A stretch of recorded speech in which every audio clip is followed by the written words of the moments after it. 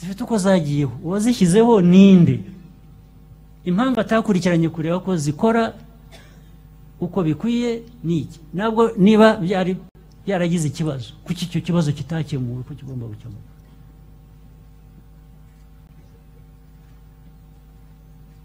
abo bajya kuvuga ngo nibibe privatize baba- babanje kumva ikibazo icyo ari cyo? Cyangwa barekwiye kuba bashaka n'amafaranga kugira ngo nyine eh, yari akenewe bayashake bashyire kuko niba bavuze ko nireda ihagarariye leta ni ukuvuga ngo leta yari ibifitemo inyungu kugira ngo bikore kuko birakorera abaturage. Hagati aho mwese izo nzego zose zagiye zivugwa eh, minisiteri y'ubucuruzi minisiteri ya finance minisiteri hari iyo batavuze ya minagri hari nirda hari muri aho ni amazina gusa nta kintu gikorwa Eh? kugenda aho ndashakisha umuntu wansobanurira ubundi byagiriyeho iki nirida ishinzwe iki guherekeza ibintu gusa eh, eh, bigapfa iki- icyo ikora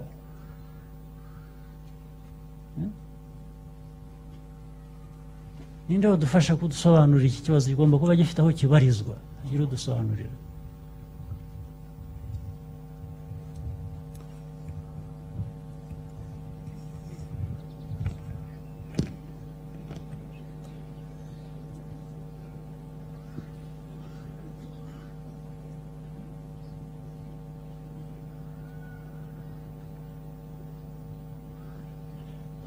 murakoze nyakubahwa perezida wa repubulika nitwa marie tereza murekatete nkaba ndi umudepite mu nteko ishinga amategeko. Ngira ngo iki kibazo kimaze igihe kirekire n'amaraporo yaratanzwe. Uruganda rujyaho ni uko abaturage bari bagaragaje ko bafite umusaruro ukomoka ku mata niyo mpamvu uruganda rwagiyeho. Rumaze kuhajya rwagiyeho rute rushyizweho nande? Ubwo ni ukuvuga ngo rwahereye kuri politiki runaka polisi runaka yo kugira mu bikorwa yari polisi nyakubahwa perezida wa repubulika yashyizweho na minicom na minagri na nirida muri bwa buryo bwo kongerera umusaruro w'ibikomoka ku buhinzi n'ubworozi. Uruganda rumaze kuhajya rero haje imashini zidakora ibyo zagombaga gukora. Raporo turazitanga nk'inteko ishinga amategeko nka komisiyo y'ubuhinzi. Zizanywe nande na nirida na na minicom. Zihageze imashini zije abaturage bakazana umusaruro ariko ntizishobore gukora ibyo uruganda rwari rwarateguriwe gukora kuko rugomba gukora foromaje gukora ikivuguto n'amata asanzwe tugaragaza raporo ko imashini zidakora izaje ntabwo zashoboye gukora ibyo ntabwo zikora nyine uruganda rurafunze ntirukora. Nta nubwo ari amezi atanu rumaze gusa rumaze igihe rwose rudakora.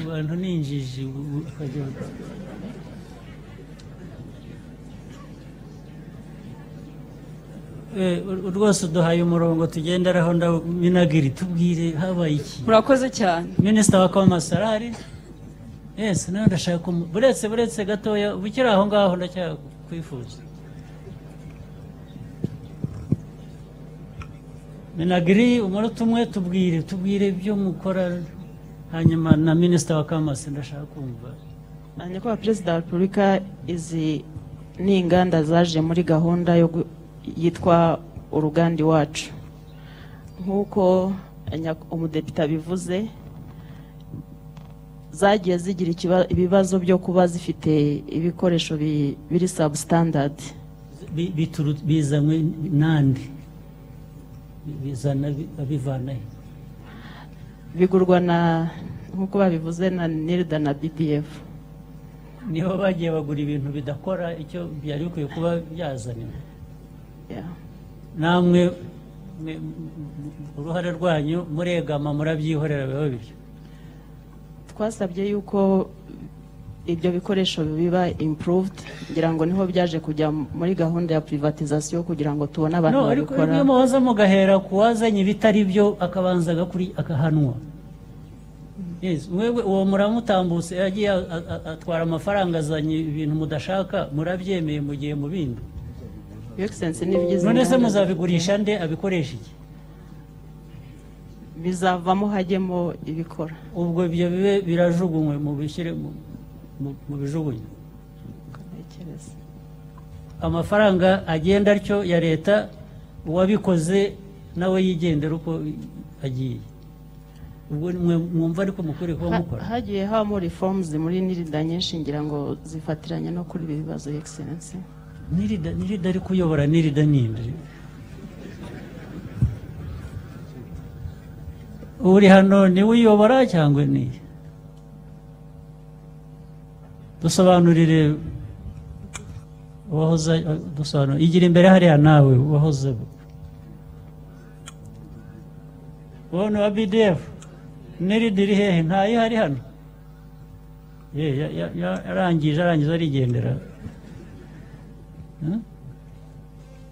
so minisita wa kamasi tubwire kuko ni we uri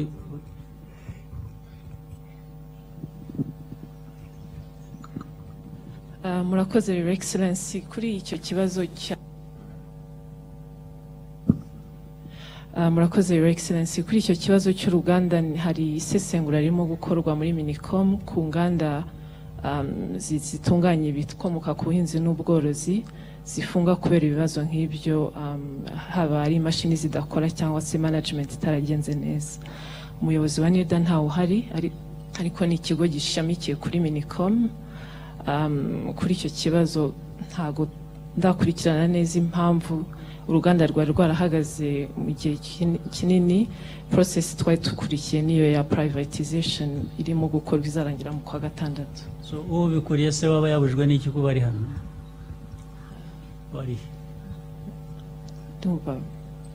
Ntabwo na- nabona igisobanuro. Sinzi niba bari babatumiye. Kumutumira se gutumirwa ku kazi yahawe.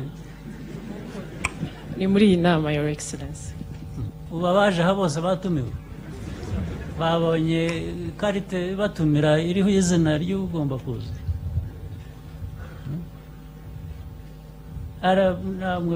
Ba vip mwicaye hano abayobozi ariko noneho n'abaturage buriya buri wese yabonye karite i- i- imuhamagara kuza hano. Tuzabikosora your excellency. Ugomba gukosorwa ariko bihereye no kubangije ibyo ngibyo. Niho bihera. Uwagiye akagura ibintu gusa mugiye kujugunya ayo mafaranga bigiyeho aragenda gusa ibintu biragenda gutyo n'ibyo twatakaje by'izo nganda mugiye zitagira icyo zigirira abantu akamaro nta muntu ubibazwa bikabura bikazimira gutyo gusa. Uh, Your Excellency twemeranyije na komisiyo y'ubuhinzi mu nteko ko abagiye mu nganda twari twabonye zi- zidakora cyangwa zifite ibibazo ko ababigizemo uruhare bazakurikiranwa nyuma y'iyo No, mukwiye analysis. kuba mwarabishyizemo abapolisi. Polisi igakora investigation. Abantu bagafatwa bakabibazwa.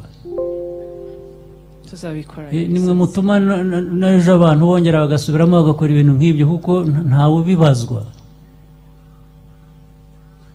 icyo ni icyaha. Mukwiye kuba mwarabwiye polisi igakurikirana ikamenya uko byagenze. Polisi ubutabera bw'igihugu bugakurikirana. Namwe ntibabujije gukurikirana ibyo mushaka gukurikirana ariko ubutabera bukwiye kubikurikirana. Eh, ndashaka kumenya inkomoko yabyo aho byaturutse uko cyatumye bigenda bityo.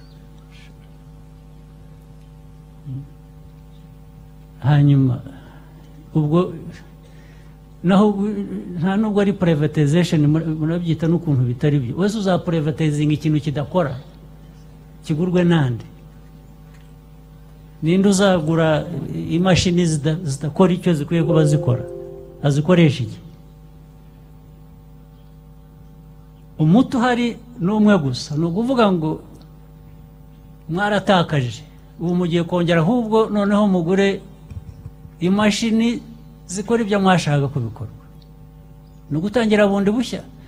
Noneho kuko nabanje kugira ngo ni ikibazo cy'abantu bakoze bizinesi purani mbi bakoze ibintu bibi. No ariko mwabahaye imashini imashini zidakora ibyo mwakoreyeho bizinesi purani urumva byagenda bite minisita ikibazo cyabaye muri procurement y'izo mashini nk'uko bigenda bigaragara mu nganda zimwe na zimwe. Nibyo? Noneho muraparayivatezinga iki? Imashini zidakora? No icyo gihe valuation ni uko um, value y'izo mashini ntabwo iba irimo ni cyo gituma no kubyita privatization you're right yes ntabwo numva iyo privatization icyo mukora icyo ugomba gukorwa. Ni ukuvuga ngo izi nganda mwari mwashyizeho. Ntabwo zishwe na- ba nyirazo bananiwe gukora. Zishwe nuko ibyo mwashyizemo izo mashini mwashyizemo atari zo zagomba kuba zirimo. Mbere rero yo kubisesa cyangwa yo ku ibyo mwita privatization ibyo bitari byo murabanza mumenye ubundi muracyashaka ko izi nganda zikora ibyo mwashakaga ko zikora niba hari amata ahantu hari amata. Murashaka ku keretse niba hatakiri amata ahakoreshwa. Niba nta mata kihaboneka ubwo ibyo ngibyo mwabikinga. Ariko niba gihari mubiretse mutyo bigende bite?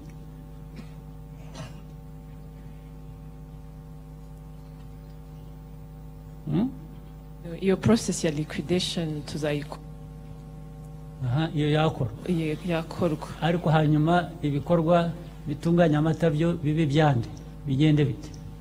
Recommendation ni uko ubwo haba urundi ruganda habonetse umushoramari. Oya cyangwa se haba urundi ruganda ru- rukoreshwa nk'uko na mbere rwari rwa- rwashyizweho. Mwari mwashyizeho za koperative zi- zibikora. Cooperative zirahari yego. Zirahari? Ntabwo ikibazo cyabaye koperative Not- ni uko ikibazo mwashyizemo mashini zitari zo. Ni mashini zitari zo rero ni ugusubira inyuma mugashyiramo ibikwiriye kuba birimo abantu bari bakwiye kuba babikoresha noneho akaba ari bwo bafashwa kubikoresha. Njye ha- hari abantu benshi nimumpe ubundi bwenge twakoresha n'ubundi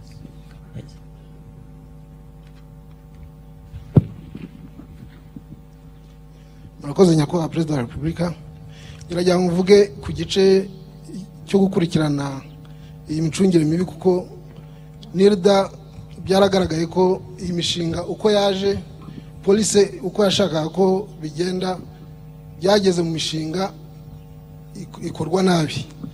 Twakoze ubugenzacyaha twakoze inshingano zacu tujya uruganda ku ruganda n'ubu biracyakorwa. Ni na byo byaviriyemo uwari umuyobozi wa nirida gufungwa ubu ari mu rukiko witwa mungaruriye. N'izindi tuzazigeraho. Wenda iyi ngiyi ntabwo navuga mu buryo buri specific icyo twavanyemo ariko turagenda uruganda ku rundi kuko byaragaragaye ko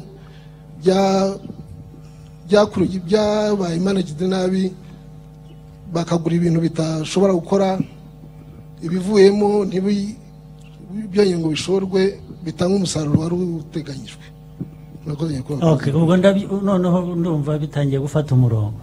Niba umbwira ko iperereza rihari abantu ba- bakurikiranwa ni ibyo rwose ngomba guheraho. Icyo ni cyo cya mbere. Mukomeze mubikurikirane buri wese wabigizemo uruhare nk'uru agomba kubi- kubibazwa. Aha icyo ni kimwe. Icya kabiri izo nganda icyo zari zashyiriweho ngira ngo kirumvikana kirazwi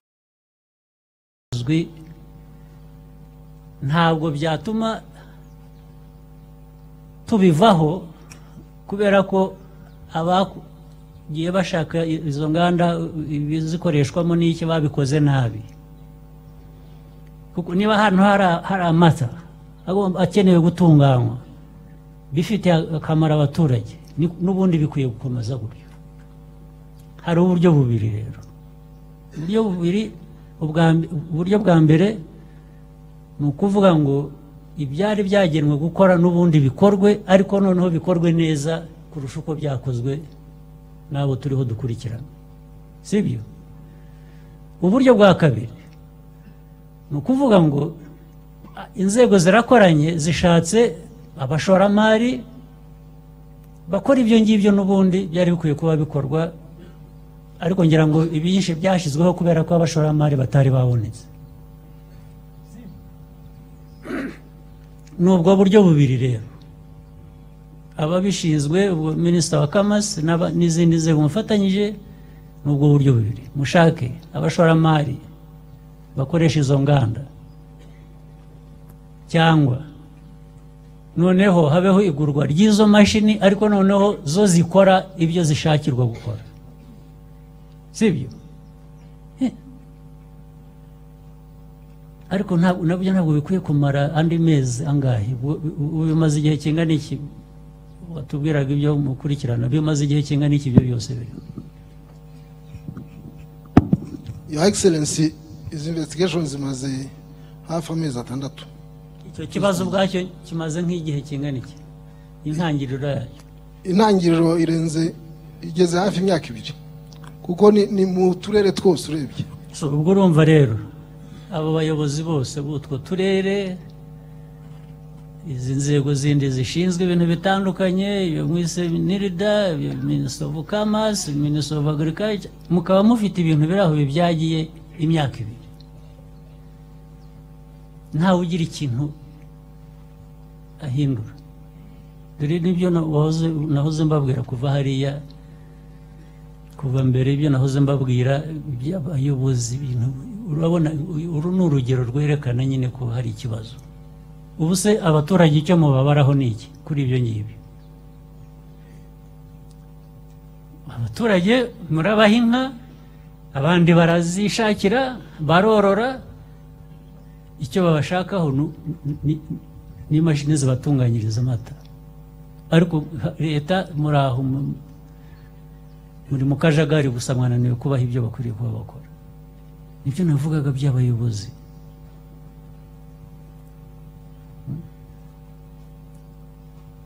Mu nteko namwe mukomeze aba bantu mubaduterere hejuru hanyuma mutongera agatoki gusa turaza kurwana nabo nta- kundi biza kugenda.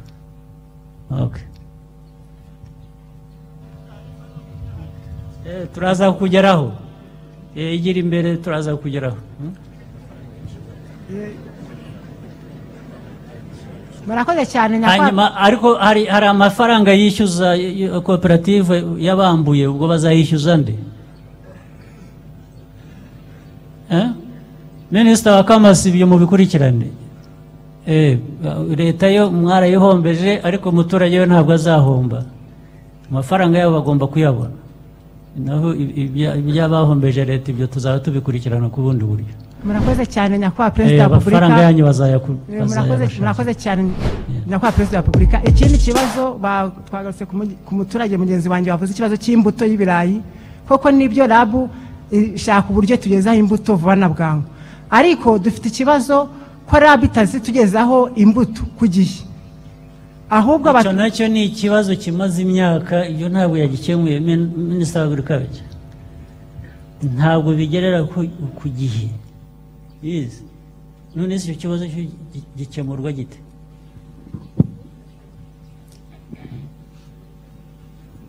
ni kuriya nabivuze yuko imbuto zatuwiwe within the community zigumamo zidasohoka ngo zijye